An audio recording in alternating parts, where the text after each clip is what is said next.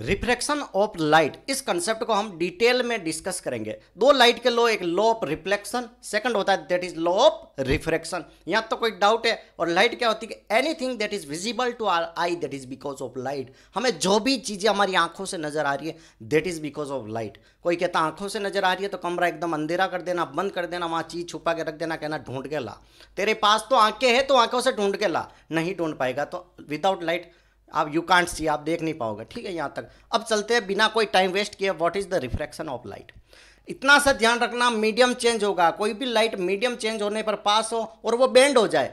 क्या कंडीशन आएगी? बेंड हो जाए बेंड हो जाए। दैट इज़ मतलब लाइट ऐसे जानी चाहिए होगी। ऐसे ना जगह ऐसे घूम जाए, थोड़ी सी घूम जाए या थोड़ी ऊपर घूम जाए। That is refraction of light light will be bend bending का फिनोमिना आएगा, वहाँ पर डायरेक्ट रिफ्रैक्शन टिकाना है। Okay okay. क्वेश्चन को फिर से डिटेल में डिस्कस करने से पहले मैं डेंसर और रेयर मीडियम बता देता हूँ, क्योंकि पूरी डेफिनेशन पूरे कंसेप्ट में आपको डेंसर और रेयर मीडियम पढ़ना पड़ेगा। तो इसको डिस्कस करना ज़रूरी है तो डेंसर और रेयर मीडियम क्या होता है? यहाँ पर देखो, मैं कंपेरिजन कर लेता हूँ एयर और वाटर हवा और पानी। एयर और वाटर हवा और पानी। तो जो एयर होगी, ध्यान से देखना, जो एयर होगी, वो होगी rare in comparison to water ठीक है, जो एयर होगी देट इज़ रेयर होगी इन कंपेरिजन टू वाटर तो हम कहेंगे कोई लाइट एयर से वाटर में एंटर की। किससे की एयर से? वाटर में। एयर क्या हुआ था? रेयर मीडियम वाटर क्या हो गया था? That is denser medium glass air के कंपेरिजन में वो भी डेंसर हो गया। तो कह रहा है कि एयर से अगर ये वाटर एच में एंटर कर जाए तो ये हो गया रेयर से डेंसर मीडियम और मान लो ये डेंसर रेयर एच से ये एयर में एंटर कर जाए तो ये हो गया अपना that is denser to rare और रेयर टू डेंसर क्लियर है यहाँ तक? ओके अब ये कह रहा है कि जब लाइट किसी मीडियम को चेंज करेगी, यहाँ पर इसका लॉजिक देखना, ये फंडा देखना, ये होता है this one is a normal ठीक है? ये होता है हमारा normal this one is a normal अब लाइट मैंने यहाँ पर गिराई, ये लो लाइट ध्यान से देखना कंसेप्ट बड़ा इंटरेस्टिंग कंसेप्ट है। मैंने यहाँ पर रे ऑफ़ लाइट गिरा दी, और लाइट कैसे जानी चाहिए थी? ऐसे जानी चाहिए थी। स्ट्रेट लाइन तो यही बन रही है ना। लेकिन ये लाइट क्या करेगी? या तो ऐसे बेंड हो जाएगी, या फिर अंदर नॉर्मल की तरफ़ आ जाएगी। या तो नॉर्मल की तरफ़ आ जाएगी, या अवे फ्रॉम नॉर्मल इधर चली जाएगी। या तो लाइट ऐसे बेंड हो जाएगी, या फिर ऐसे बेंड हो जाएगी। ठीक है? नॉर्मल के पास आ जाएगी। दैट इज़ ये लॉजिक क्या लगेगा? इस लॉजिक के पीछे क्या रीजन है? इसको समझना।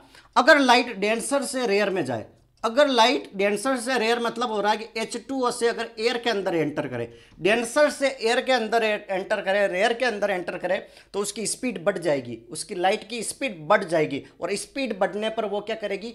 अवे जाएगी, अवे फ्रॉम नॉर्मल। ये जो इसकी डायरेक्शन जहाँ जानी चाहिए थी, उससे भी अवे इधर चली जाएगी। देट इज़ कौन सा कंडीशन है? जब डेंसर से रेयर में जाए पानी से हवा में जाए। सेकंड कंडीशन कह रहा है कि जब रेयर टू डेंसर जाए, समझना, रेयर टू डेंसर रेयर मतलब एयर से एच टू वाटर में जाए, अब यहाँ पर स्पीड घट जाएगी, क्योंकि एयर में तो कितनी फास्ट लाइट का मोमेंट होगा, लेकिन जैसे ही पानी दिखा, पानी के अंदर जैसे ही एंटर करवाया, इसकी स्पीड घट जाएगी। और ये क्या करेगा कि इधर जानी चाहिए, लेकिन ये बेंड होकर नॉर्मल की तरफ़ आ जाएगी टू वर्ड्स नॉर्मल आ जाएगी। दोनों कंसेप्ट को नोट्स बना के लिख लो। दोनों कंसेप्ट को नोट्स बना के लिख लो, ये कन्फ्यूजिंग है। यहाँ से एक नंबर आते क्वेश्चन पूछा जाता है। कि denser to rare light enter करेगी तो it will move towards normal और away from normal one marks का क्वेश्चन पूछेगा, इसलिए कंसेप्ट को क्लियर करवा रहा हूँ. चाहता तो डायरेक्ट ये समझा देता, कोई मतलब नहीं इसका. ठीक है, लो, दोनों में अब हम क्या बना देते this one is a normal ये लो, हमने क्या किया यहाँ पर? नॉर्मल बना दिए. ओके यहाँ पर हमने अब बना दिया देट इज़ नॉर्मल और फिर भी मैं इनको और अच्छे से क्लियर कर लेता हूँ, ये लो रे ऑफ़ लाइट यहाँ पर एंटर करवाई. ये लो ये लो रे ऑफ़ लाइट इंसिडेंट कराई, ये इंसिडेंट लाइट हो गई. क्लियर है? या तो कोई डाउट ये हो गई हमारी this one is a normal ये हो गया हमारा नॉर्मल या तो कोई डाउट ये भी हो गया हमारा नॉर्मल अब हमें लाइट बेंड करवानी है, कैसे जाएगी, इसको देखना. अब लाइट कैसे जानी चाहिए मोस्टली इस तरीके से तो ऐसे जानी चाहिए. भाई ये पाथ तो स्ट्रेट लाइन में ऐसे ही जानी चाहिए, पर ऐसे जाएगी क्या?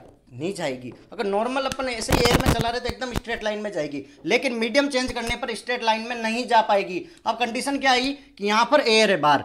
हवा से पानी में आई रेयर से डेंसर में आई। किससे आई? रेयर से डेंसर में।